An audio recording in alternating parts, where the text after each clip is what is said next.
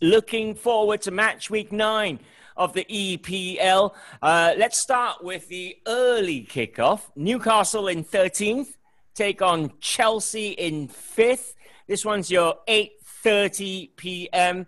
Um, tie. It's first match after the international break is always very difficult. You've got all these world-class players coming back from all over the shop, um, but you look at the quality Chelsea have, Des Corkill, and it's it's hard to see past that. I mean, I know Lampard's still trying to feel out his his first eleven, but what what a squad, yeah. You know what? I don't think he is trying to find his first eleven. I think he's found it. He's got his spine, which was so so important. Um, I didn't like the fact the goalkeeper had to be replaced, Kepa, but Mendy's come in, added solidity. That back four looks really, really good. I read a stat that Kurt Zouma has won 96% of his aerial challenges this year, and he's the weak one, the centre. Um, so I think Chelsea have got this real solid base, and then they've got so much creativity. Craig uh, mentioned Mason Mount, but they've got Ziyech with that delicious left foot. They can afford to lose the likes of Pulisic through injury and even uh, uh, allow Havertz a chance to um, show his, his, his potential. You know what? They are a real challenge. This like the fact they fought their way to it, but my word, they've gelled very, very quickly. I can see them really being there or thereabouts at the end of. Yeah, uh, apologies, internet connections uh, cutting in and out, but we, we get the gist of what Des is saying. They are a formidable side. Um, do you reckon, Craig? That's right. Frank has hit on his starting 11. There is solidity, there is a spine now. Yeah, uh, I agree with Des. I, I think he's found it um, with Ziyech coming back um, um, and, and Werner obviously getting the goals. The, the, only one thing is that Pulisic is still not fit. Um, you know, he tried to come back, got injured in the warm up. Um, so, so that is still a question mark. I think besides that, he's more or less got it. Um, he's got it sorted. you know, I know Tammy Abraham has been doing really well in the last couple of games uh, when he started, but you know, Werner would move into that central position. Um, and Pulisic will play on that left hand side. I think Chilwell's been a great signing for them as well with his assists, with his goals. Um, and with what Des says as well, you know, I think Thiago Silva is, is he, he's found his feet. Um, I think Kurt Zouma alongside him. I'm not a massive fan of him. Um, you can't deny he's, he's, fantastic in the air, but I think it's still a weak area for Chelsea. I don't think he's um, the finish article by any uh, imagination. Um, and on the right hand side, Reece James has really uh, come, come, into it. Uh, you know, the more games that he's played. Um, so yeah, um, I think he's found that that spine. He knows his he knows his best eleven. Um, it, it's just accommodating. You know, when there are injuries. I mean, there's still that question about Mason Mount, uh, Jorginho, Kante. Um, do they play together? Do do you drop one? But yeah, I, I, think he's got enough. Um, you know, this talk about a title charge. I, I still think maybe this season might be a bit too early, but the way it's going so far after you know nine game weeks or coming up to nine game eight game weeks, um, you know anything can happen. And you know if there was an open season, um, at, you know after ten games, this would probably be it. I mean, no one's really taken charge of, of the Premier League so far and, and, you know put a claim to it that you know we're, we're going to be the team to beat. So uh, yeah, I, I think you know it's not out of the question for Chelsea to, to, to go on and win it either.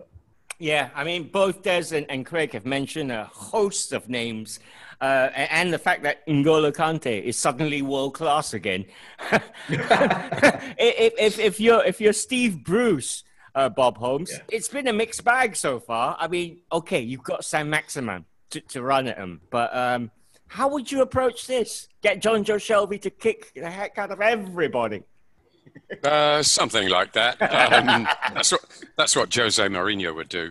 Um, I mean, very difficult for Steve Bruce this appro- approaching um, Chelsea like this. I mean, it's at home, if that counts for anything these days, and they're just coming back from an international break, so that might level the playing field a little bit. But really, this is a, mis- a mismatch, isn't it? On paper, it looks a mismatch.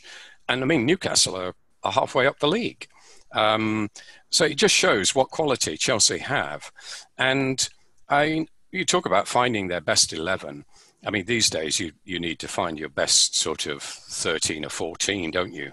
Um, and with all the games, because 11 is never going to sustain a run in the league, the Champions League, and and the League Cup and the FA Cup to come.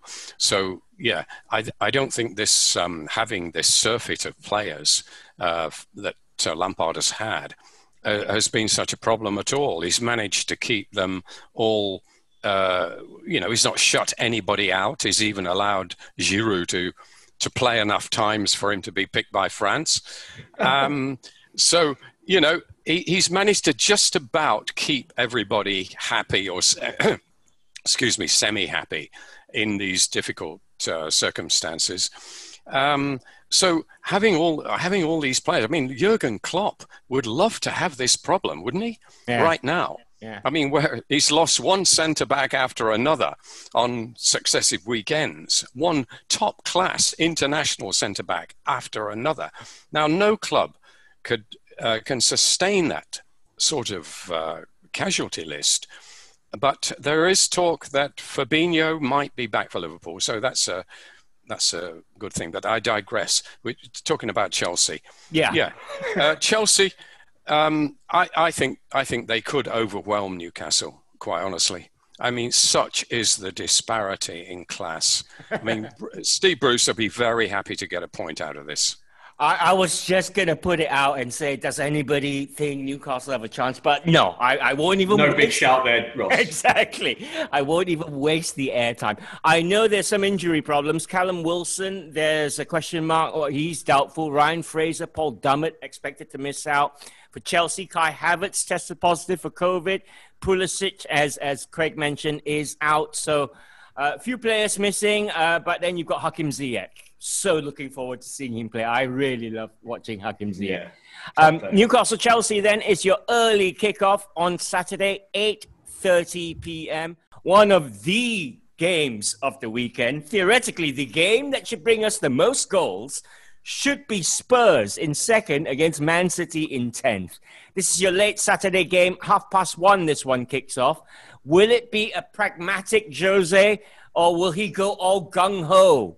Uh, Des Corkill? You know what? I think it's probably going to be a more a pragmatic uh, Pep Guardiola because he's just trying to eke Man City back into a certain vein of form, whereas Tottenham are playing more attractive football under Jose. He's kind of, in my book, taken uh, the the the, uh, the the blockers off Tottenham. So I can see Tottenham going out and trying to win this one, and Manchester City being a draw in, on the cards for me. But um, I, I, I, just think City are slowly getting their mojo back after a run of nine unbeaten games. But uh, great game. Um, uh, Tottenham to go and try and win this. Yeah, I, I, sorry, I, I disagree with Des there. Um, I think uh, Spurs have, have, have kind of come back into that pragmatic Jose uh, Mourinho um, team that you know that we know Jose Mourinho does, um, and this is after uh, the West Ham game you know, when they were, they were obviously 3 0 up and, and, and, kind of squandered it at, at the very last second. Um, since that, he, he hasn't been as adventurous, as gung ho, as you said, um, Ross. Um, and, and, you know, they've, they've eked out results. They've, they've, they've been a lot more uh, solid defensively. That 1 0 um, so against West Brom. One uh, one nil against Burnley straight after as well. Yeah. Um, you, you know, it hasn't been free flowing Spurs. Uh, since that result. So I think I think Jose he, he he played around with it a little bit. We saw the expansive uh, Tottenham, uh, but now after that that West Ham result, you know, he's kind of come back into it, um, and, and, we're seeing a. Uh, still a talented Spurs side, but not a Spurs side that we saw earlier in the season where, you know, they're willing to bomb forward and, and be creative and, and everything like that. Um, so uh, I, am expecting a, another pragmatic uh, Jose Mourinho performance. Sit, sit deep, um, hit them on the break uh, when they can. City are. Well, this is a renewal of the age-old rivalry between uh, Pep and Jose. Don't forget. Yeah, yeah. I mean, and I just wonder if uh, any of that, you know, that thinking will affect either manager's approach. It will be very interesting to see. Isn't it? It's it's bigger for Pep, right? They're already six points behind Leicester. Now they, they can't afford to. I know we're only nine games in, but this is the title. We, we, City are supposed to be up there, right, Bob? Yeah, well, uh, Pep's just signed a new contract. I think that's uh, worthy of mention. That'll be a boost to the club, sa- uh, staying for another two years. So that means and Messi that, will come in then. Well, in well, it's it's on the cards, isn't it? I mean, uh, he was never going to come without, but it like that. Uh, and he doesn't seem entirely happy at Barca, does he? So yeah, so I think City are City fans are, are quite optimistic. Getting back to this match. Um, there's a possibility of Sergio Aguero uh, being at least on the bench. Um, it's, it's, amazing how these guys uh, they're out for months and years, and then suddenly you know they go you go quiet a couple of weeks, and then they're back. You know, modern uh, medicine. Um, I think also it's they clubs always go a little bit pessimistic when a guy gets injured, but if he's back, I think even if he if he only comes on as a sub, I think that's going to make quite a difference because they've missed him. Mm. Uh, City have really missed him. They're not scoring many goals, you know. No. Uh, I mean, normally they score goals for fun. For for two or three seasons, they've been scoring goals for fun. Uh, even last season, when they didn't win the title, they st- still scored plenty. But this season, they haven't. And I think one of the reasons is they're missing David Silva. Um, they haven't quite uh, found the sweet spot yet somehow. But Phil Foden, um, what he lacks, what the magic that he lacks that Silva had, he makes up for in goals.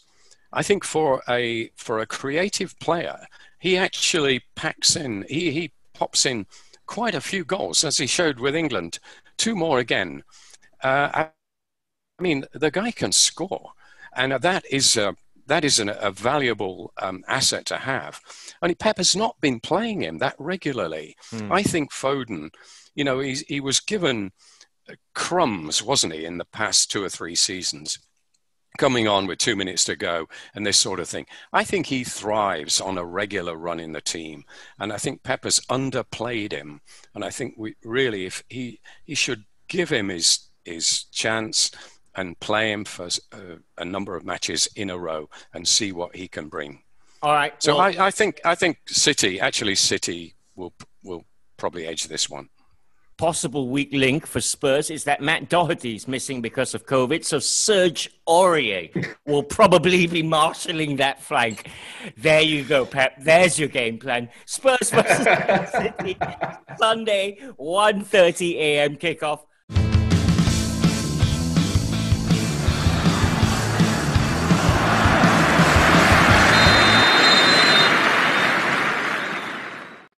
All right, Manchester United in 14th take on West Bromwich Albion in 18th. It's a Sunday 4 a.m. kickoff. This one, uh, Ole Gunnar Solskjaer's side, Craig Marias, are still awaiting their first league home win of the season. I think it's 72, 73 last time it got this yeah. bad. Um, what are you what, what are you seeing here? This should be. I mean, on paper, it's an easy home win, but you and I know it will be. We'll be lucky with a one 0 right? Yeah, um, I don't know. I couldn't explain to you what's gone wrong at home. To be honest with you, um, it's just been an absolute shambles uh, for United at home. Very different um, when, when they play away, but I mean, with no no fans there and, and this, you know, there's no crowd expectation on you. Um, it, it's it's it's very confusing. I mean, I, I think Ole Gunnar Solskjaer will be scratching his head and, and trying to figure out what because you know he plays exactly the same team that he does um, when he when he goes away from home. So um, it, it's a puzzling one. Uh, that being said, you know um, United do struggle against these these teams that defend, um, but you know there, there's a lot of encouragement to take from that that win against Everton. You know it was almost a must-win match. It was built up to be that way anyway um, yeah, go, going into it despite you know victories against Leipzig and, and PSG. Um, but you know they came through that. They played really well. Um, you know defensively, I thought they were they, they were solid going forward. They were good. Um, and, and, they just need to do more of the same. You know what West Brom are going to do. They're not going to fly at you. They're going to go be compact at the back um, and, and, hit you on the break. And I think this is where United need to be careful. Mm. Um, you know, just to get their, their last Champions League game uh, against Fenerbahce when they lost, um, it, it, was one of those where it, you know you had they had all the possession, but it was again the team sat back, hit United on the counter, and you get a lot of success doing that. Yeah. Uh, and this is where Solskjaer has come out and he says, um, you know, United needs to wise up. Uh, they need to be a little bit smarter, and they do because yeah. it's easy when you have a lot of the ball to you know commit bodies forward. Um, but you got to you got to take care of what's what's behind you as well. So um, it, it's going to be a difficult. I, I, do expect United to win, um, you know, comfortably. Um, I, have seen West Brom play. I don't really. Uh, I think they're going to struggle this season. So um, th- th- there is there is always going to be pressure for for Ole Gunnar Solskjaer, but th- this is uh, he, he, needs to get the home form up and running. Um, so three points for United. Okay, well, in theory, anyway. But um, I, have got to ask this because um, uh, it's happened in midweek. In fact, it happens every international break. You see a Paul Pogba headline. This time, it was "What a breath of fresh air it is to play for France." Now, Bob Holmes, if a player from your club shows that much disrespect um, to to a, a player you're paying what over two hundred fifty thousand a week to how would you feel? And would you even have him on your bench this weekend? No, uh, I wouldn't. And don't think Alex Ferguson would either. Um, he's been tolerated far too long. I think it's down to the agent, uh, Mino Raiola, the whole business when he signed in the first place. Uh, Raiola caused a lot of problems, and uh, it, he made it difficult for United to sign other players and uh, they're actually still living with this sort of dark cloud, if you like, of Pogba's agent. I think that's why he's not being disciplined as he should have been. I mean, uh, it's outrageous what he gets away with uh, off the field and on it.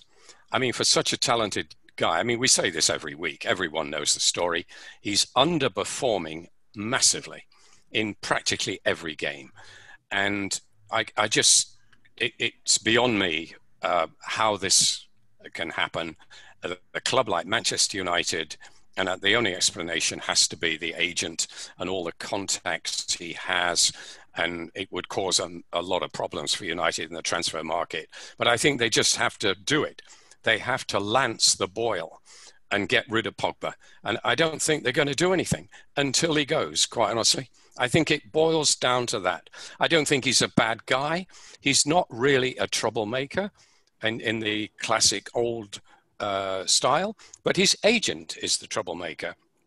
And I think there'd be a massive sigh of relief at Manchester United all around the club if Pogba were to leave. They've just got to sell him off at a knockdown price and get him out of their hair.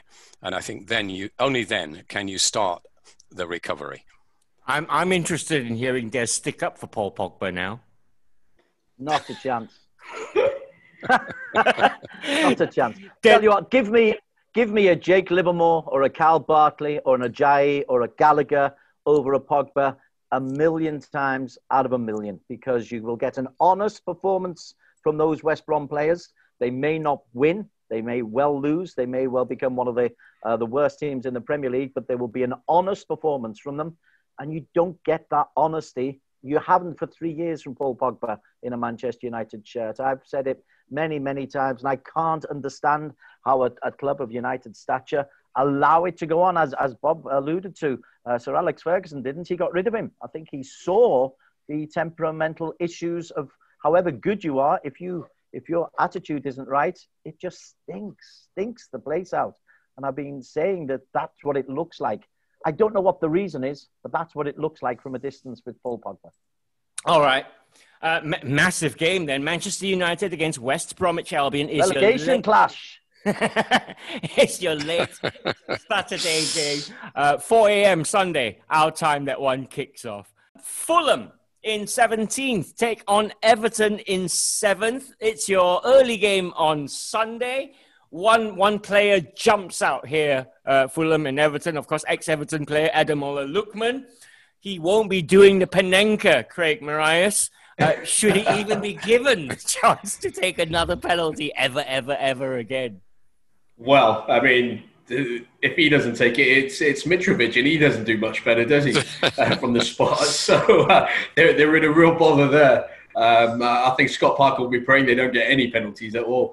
Um, but yeah, um, I mean, he's, it's good to see Lookman back playing. Uh, we knew the talent that he had uh, when he was, I think he was from Charlton, if I'm not mistaken. Went went to Everton. Um, you know, came off the bench, made made an impact off the bench, uh, but never really got that regular playing time. Went away to Germany, did well on loan. Um, they signed it, but again, um, never really nailed down that that starting eleven spot. Uh, he's come to Fulham, where Scott Parker has given given him a new lease of life. Playing regularly, he's talented. There's no question about it. You know, um, um, you know, he, he, he's he's small, he's quick, um, he darts in and out, he beats plays for fun. He's got a good left foot, good right foot. Um, he's got everything in his locker. He's just not a penalty taker. Um, uh, but I, I, think this is going to be a good match. I, I really do. Obviously, Everton going to this as favourites. Um, they've been fantastic. Richarlison could be back yeah. uh, for Everton, which is a massive plus for them. They, they've really missed him when he's gone. I think the record without him is, is absolutely atrocious. Um, but with him, I think every time he's played, I don't think he's ever lost or something like that. Mm, it's, mm. it's, a crazy stat uh, for, for someone who's been out of the club for, for about two years now. Um, you, would expect Everton to win, but uh, expect a, a, gritty performance from Fulham and, and not making their life easier. Um, yeah, well, but it, it, it's hard to ignore um, an, an Everton win. Fulham will take heart from their, their last win uh, so far. At least they've got a win under their belt. But Everton, they were early season favourites. We were talking them up. But now it's what? One win in their last five in all competitions. Uh, Bob Holmes, Ancelotti now having to roll his sleeves up. Yeah, well, he's been a bit unlucky, hasn't he? And uh, I mean, uh, as Greg said, uh, Richarlison, uh, a key man. I mean, he he was suspended uh, for three games, and they lost those three games. Um, no coincidence. Um, James Rodriguez was uh, not quite the same without him, and also took a knock. Um, I don't think Calvert Lewin was quite the same, uh, although he made a good fist of it. But um, he missed his Brazilian partner up front um, although he did still manage to pop in a couple of goals. But I think him coming back is massive for Everton, and I think this this game against most people's relegation favourites or one of them um, is an ideal opportunity to get back. Uh, you know, to restore some confidence because uh, starting like that, they started the season like a train, and they're getting some people are getting a bit carried away, and now they've lost three in a row, and as you say, they've won one out of five. Um, you know, it's like, oh no, here we go, that kind of thing. But they're not like that. They're better than that, I think, and they just need, if they can take care of games like this comfortably, then they will be thereabouts. I think they're genuine contenders for a, a European place, not top four, but you know Europa League. Mm. Um, so the, it will be a step up from previous seasons. So they, they've they've just got to make sure they don't slip up uh, in a game like this. All right, just before we leave off Everton, um, uh, every time we, we, we, we read a report about an, an Everton loss, Des, the, J- Jordan Pickford is, is always mentioned. Is he part of the problem there? I mean, does he have to alter his game? He seems solid enough for England, doesn't he?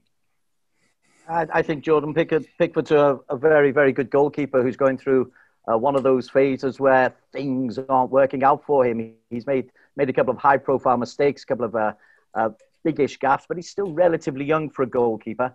And he's much more than just a shot stopper. It's his organisation. It's he's a great talker. Um, uh, I because he tries to organise things around. It's not a coincidence that Everton are doing well with a good goalkeeper behind them. The one thing about uh, since one league having won the games on the trot, they're finding out it's more difficult. The, the performances drop off once they've won the league as they thought they had done. Oh, a little dig there from the red half. that was lost, wasn't it? um, uh, all right, Fulham versus Everton, 17th versus 7 is your Sunday 8 p.m. kickoff. And we're back. We're back with Bob, Craig, and Des.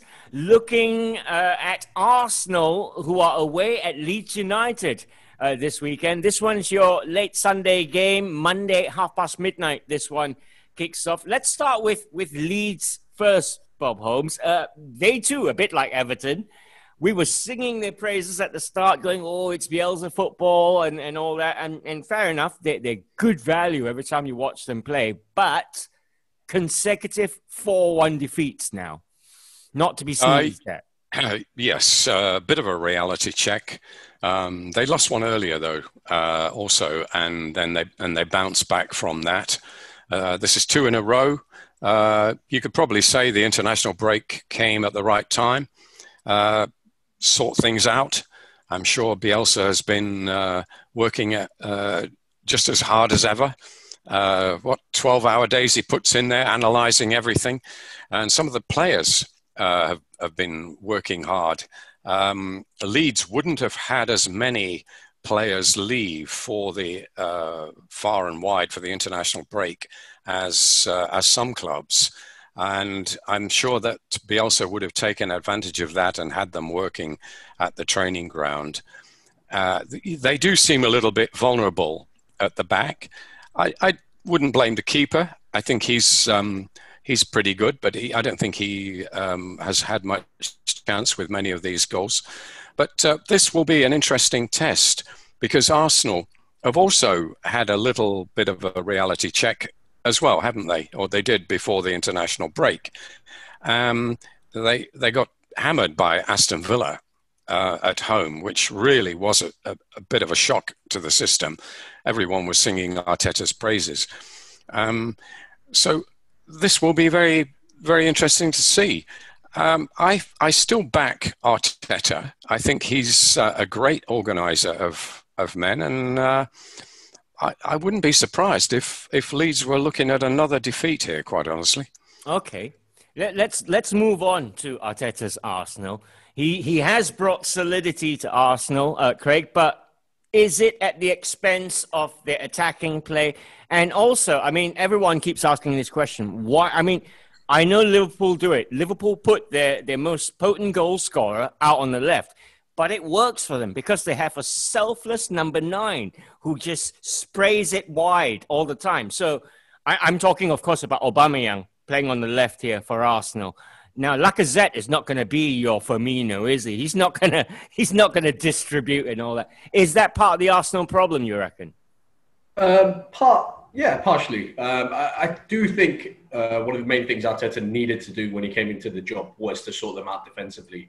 Um, and I think he's improved them. I don't think they're by anywhere uh, near the finished article at the back. You know, I mean, as we saw against Aston Villa, um, you know, there's still a lot of work to be done with them. I mean, you're still playing someone like Rob Holding in in in the Premier League, and I don't think he's quite up to um, Arsenal's kind of standard. Bellerin sometimes needs to be questioned about his defending. Um, so, so there's still a lot of work to be done in terms of personnel um, at the back for Arsenal. Um, I think tactically as well, um, we, we give him a lot of credit, and I think he's done a fantastic job since he's been given the Arsenal job. Um, but if you go back to that Aston Villa match, I mean, you're playing two defensive midfielders at home against Villa. I mean, was that the right thing? Yes, they did really well going away to Old Trafford the week before that. Um, you know, managed to, to, to, get the result that they needed. But when you come back at home, uh, you know, was that the right thing to do? I don't think so. I think he got his tactics horribly wrong there. And once you do that, you know, it restricts, you know, the, the, the players going forward. I mean, we see the amount of times during an Arsenal match uh, that Aubameyang touches the ball. It's rare. You know, he, he doesn't get on the ball enough for me. But then in saying that, even if he was, you know, switched up to, to, to the more focal point um, in that number nine position, you know, they're not creating enough chances for him. Um, Lacazette doesn't get enough chances as it is. So there's a lot of work uh, to be done for Arteta going forward. He still doesn't know his best front three, which is the worry. Um, Young has has is always going to be in that team as as captain and as the best player. But you know, does Lacazette start every game? Does Nketiah start every game? Who plays on the right? Willian, Pepe. Um, where does Saka fitting into it? I mean, there's a lot. You've got Martinelli coming back. Um, he doesn't know his best uh, side going forward. Uh, and that for me is a big worry. Even in the middle of the park, you know, Ceballos, who, who I think is their most creative central midfielder. Uh, Partey, obviously, you know, with the big transfer fee and, and being the player that he is, will, will will automatically get a spot there. But who plays alongside him? Is it Elneny? Uh, for me, it has to be Ceballos. It has to be because he's he's he's the one with the vision. If you're not going to play someone like Ozil, um, he's the one with the vision that can open teams up. Um, so so this is uh, this is something Arteta still hasn't uh, you know hasn't really sorted out, uh, and he needs to. All right. It's going to be an intriguing game, that one. Leeds against Arsenal is a Monday, half past midnight kickoff. It is going to be great.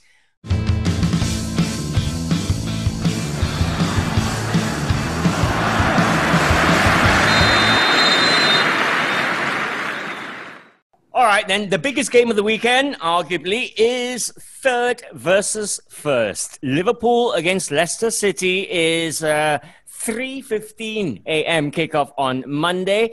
Des Corkill, your your Reds, your current champions, are in a defensive crisis at the moment.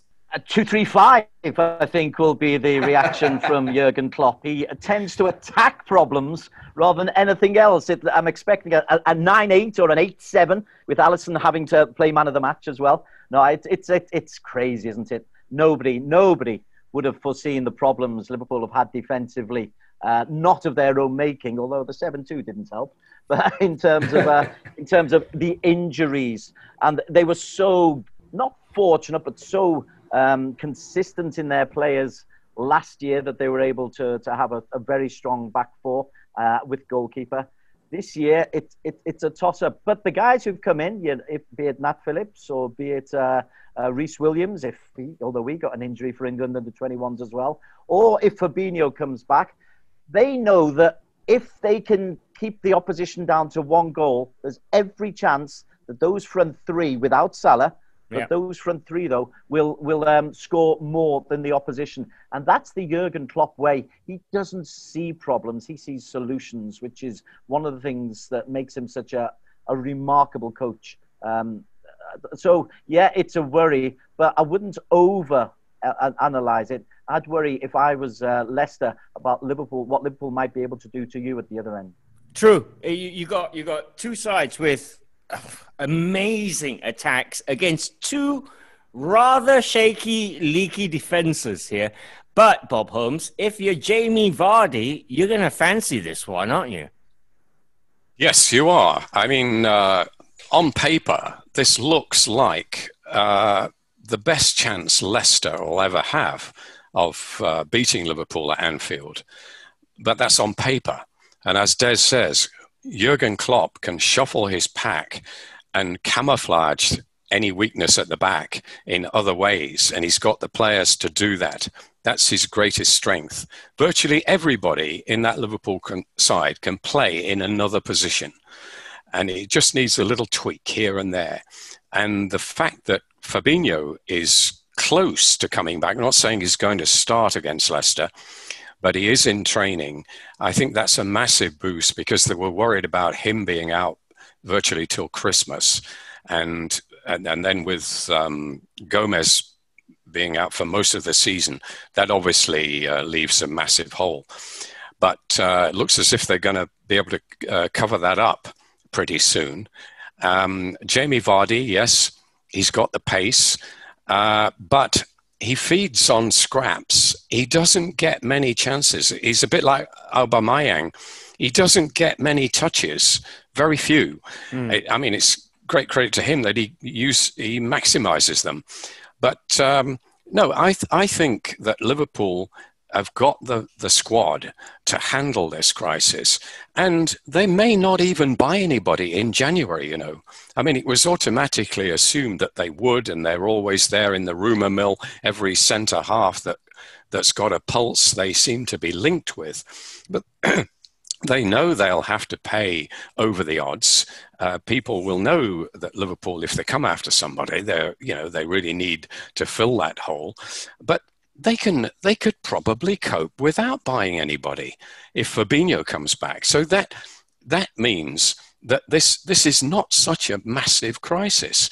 And if Thiago is also back, that's like having a new player. He's mm. only played for about 90 minutes in total so far. We've not seen the best of him by any means. So this is not the disaster that uh, many people think it is. Yeah. That's why I still think Liverpool win the league. Unbeaten in 63 successive home league games. Their last defeat at Anfield was against Crystal Palace three years ago. Having said that, Craig, we mentioned Jamie Vardy, but Barnes, Maddison, Tielemans have all been scoring lately. Tielemans had a really good international break. I mean, like Bob mentioned before, this is Leicester City's best chance. But that massive unbeaten home record, is that ever going to fall, you reckon? Yeah, um, I, am actually backing Leicester to win this, and, and it's not just because of uh, of the crisis. Obviously, it plays a it plays a, part, but like the boys have said, you know, um, it's something that I think Liverpool can cope with. I, I, I, do think you know there'll be some players that you know are listed in that list of of, uh, of injuries that will be coming back. Uh, I expect you know Rhys Williams to play. Um, um, so I, I, do think that this Leicester squad has enough about them to go out there and, and really take the game to Liverpool. They they smell blood. I mean, Brendan Rodgers would want to be the, the manager that goes there to do it as well. Um, it, it, the script is there, isn't it? Uh, Brendan Rodgers going there, ending that um, that unbeaten run for Liverpool. But no, um, I, I do think this is this is a good Leicester side. Um, whether they're good enough to sustain it is another question. Um, but but they're in a good good bit of form now. Um, and like you said, you know, there's a lot of players that they have um, that have you know recently like, stepped up. Um, Tielemans obviously during the international break. Maddison just coming back from injuries, a massive boost to them. Um, Harvey Barnes this season is is much improved uh, from last.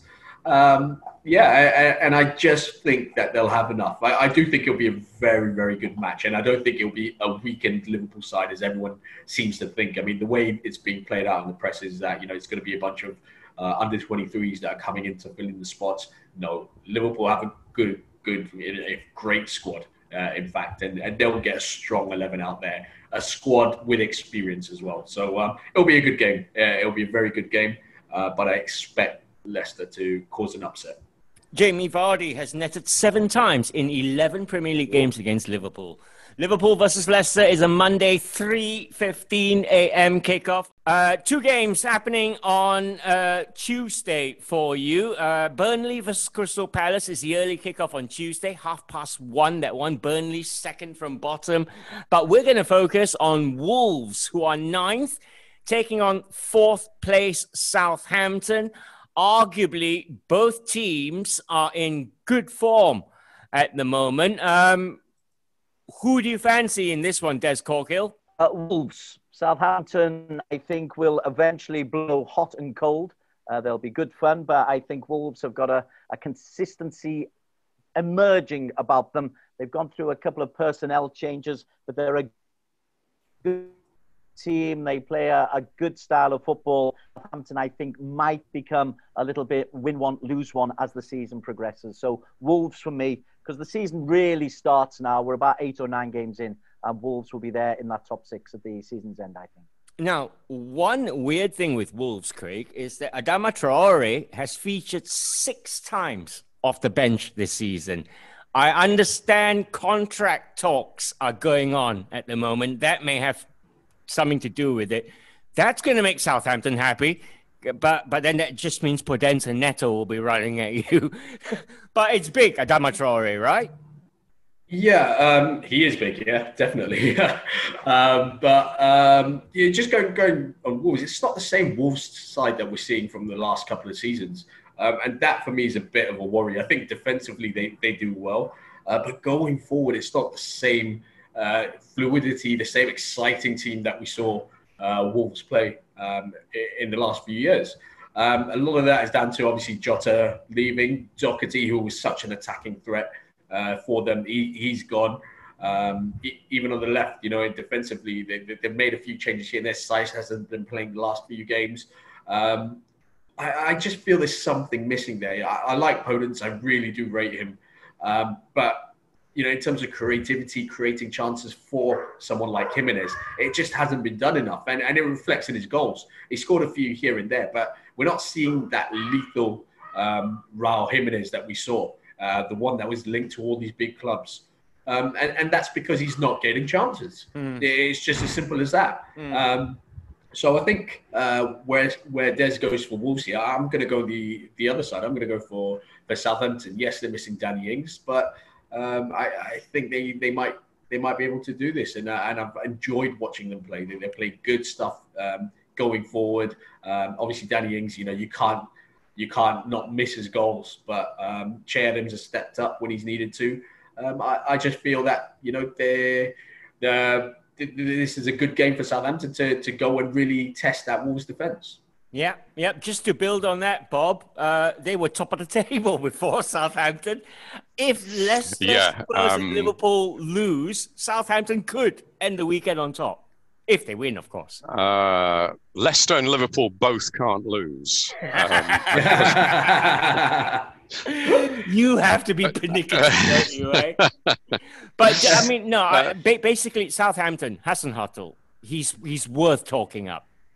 He is. He is. Um, I mean, he was highly rated uh, in Germany, wasn't he, before he came?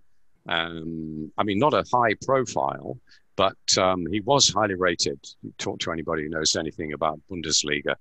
Um, so Southampton did well to get him, and they stuck by him. And I think he's he's getting the most out of a of a team that never spends much money, uh, bloods youngsters. I think he's doing a great job. But it doesn't mean they're a a force to be reckoned with. They're a bit of an in and out team, mid table. Wolves, um, yeah, I think there is something a little bit wrong there. Um, it could be down to the Traore contract situation, but um, Nuno does tend to underplay players some somewhat.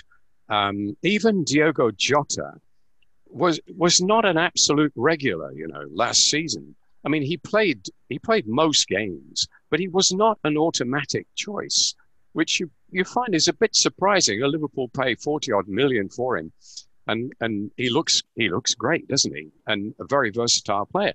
But no, he didn't start every game by any means, and Traore didn't either, although he started more than this time.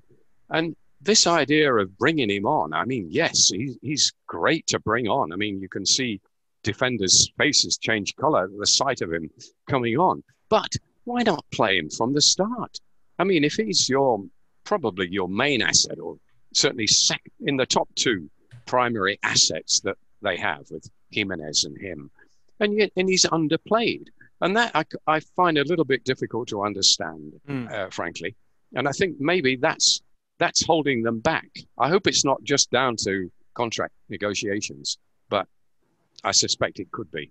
All right. Wolves versus Southampton, Tuesday, 4 a.m. kickoff. Some of the ties we did not mention Aston Villa against Brighton is a Saturday, 11 o'clock game. Sheffield United against West Ham is Sunday, 10 o'clock. And of course, Burnley Crystal Palace is your early Tuesday game. Well, Tuesday, 1.30 a.m. kickoff. And there we have it. That's your match week nine preview.